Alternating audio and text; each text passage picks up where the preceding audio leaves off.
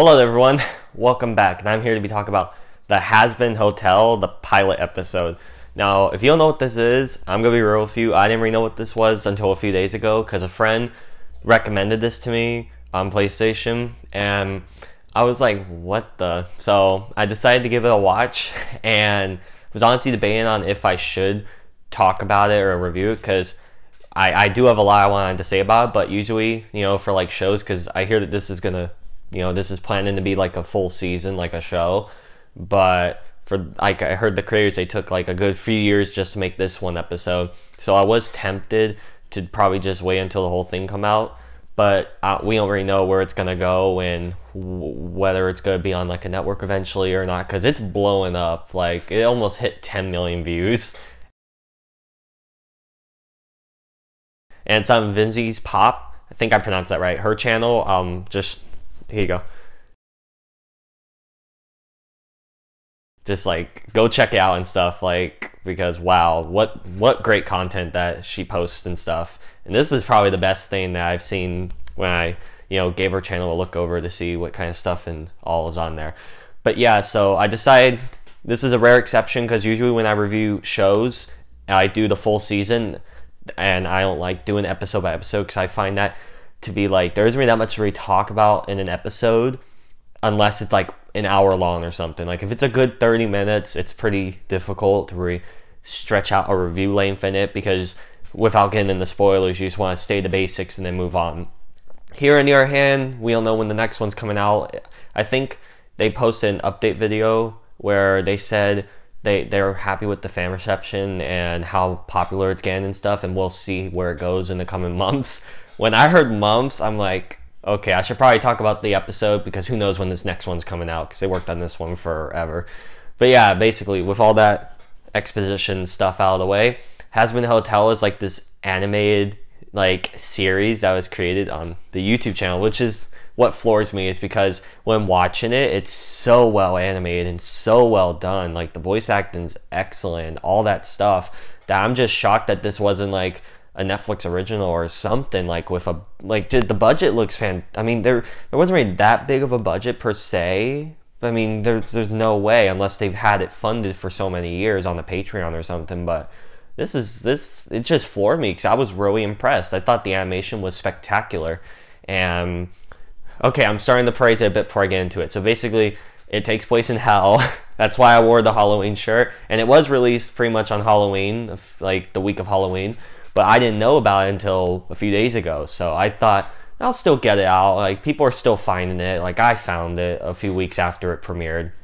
So, and it's basically about the Princess of Hell, like the daughter of the main guy down there, and Charlie, and her friend Vaggie, and they're trying to like open this hotel because they see murder and like death and everything, how awful it is down there, and it's like hurting their people. So they want to make a hotel where um, sinners and like demons and all could try to redeem themselves and go to heaven or something like that. Like to find a better way to leave instead of just getting like people killing each other and stuff.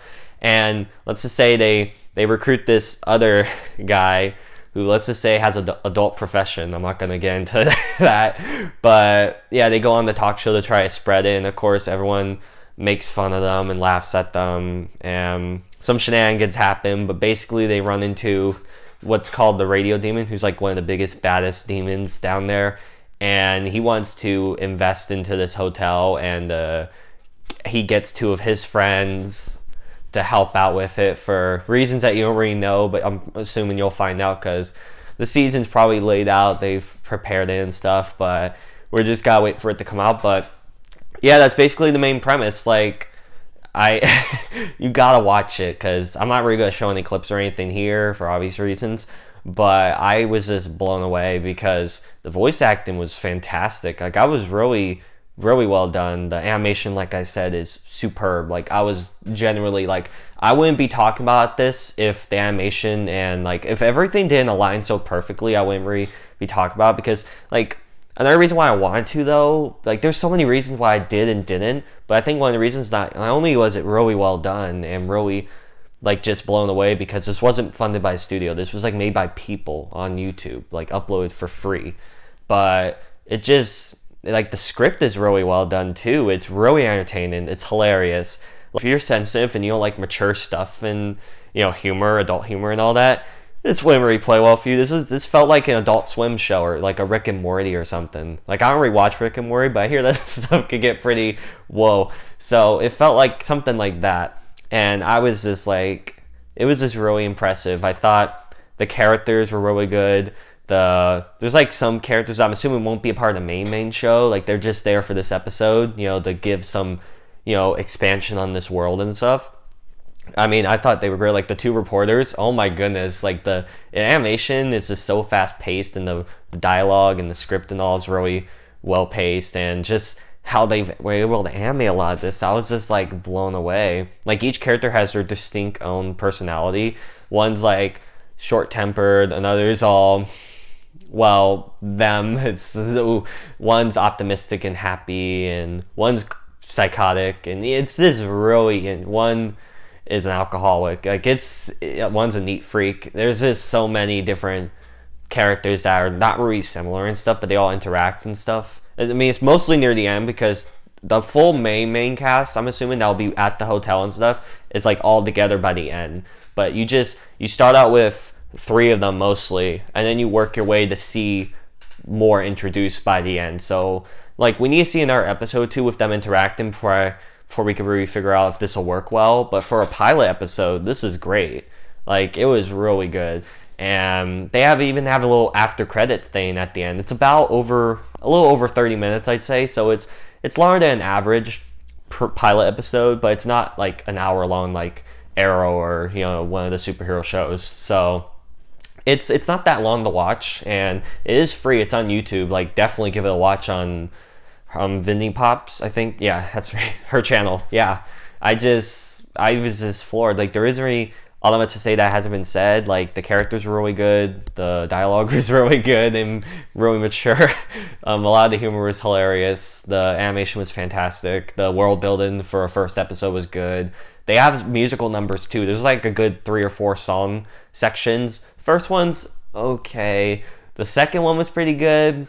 Third one was pretty. Yeah, I think there's three. Yeah, there's three. Like they're all okay. Um, so I thought it was pretty entertaining, and like I just said, wow, that animation that that was the selling point for me here. That really good. Like I was really blown away. So, with all that said, those were my thoughts on the first pilot episode of Hazbin Hotel. Did anyone else watch it? And I know it's really weird like my channel I don't really talk about stuff like like YouTube based and all. I've I've reviewed some stuff from YouTubers. Like one of my most popular videos was that short film from the Dragon Critic, the Team Warriors versus Team Zombies. But that was when I was just starting and everyone like it was a nice thing because I knew a lot of them, so I talked about. But this, I don't really talk about stuff like this, and I thought, you know what, I would. I could get a video out, and I just I just think more people should be looking at it, even though it's about to hit 10 million views in like what two weeks, three weeks. Still impressive, really well done. I'm so happy for everyone involved, and you could tell a lot of work and passion and all was poured in. So great work, guys. Uh, if anyone there sees this, but nice. And everyone that watches me should probably check that out. It's pretty great. But yeah, thank you so much for watching. And if you want to hit the subscribe button, that'll be pretty great. Hit the bell as well to get notified when I upload. And if you want to follow me on Twitter, it's SawyerSabol or at SabolSawyer. And if you want to leave a comment down below, have you seen it? Or if you're like, I'm still on the fence about it, like, let's get into you know discussion in the comment section. But yeah, thank you all so much for watching my video, and I will see you later because, as you know, Disney Plus launched, and I want to watch some of the stuff like maybe the live action Lady and Tramp. I can get a review out for that maybe. Noelle um, the the the Jeff Goldblum thing because it's Jeff Goldblum. So we'll see what I can get out or not. But yeah, thank you all again for watching, and I'll see you later. Bye.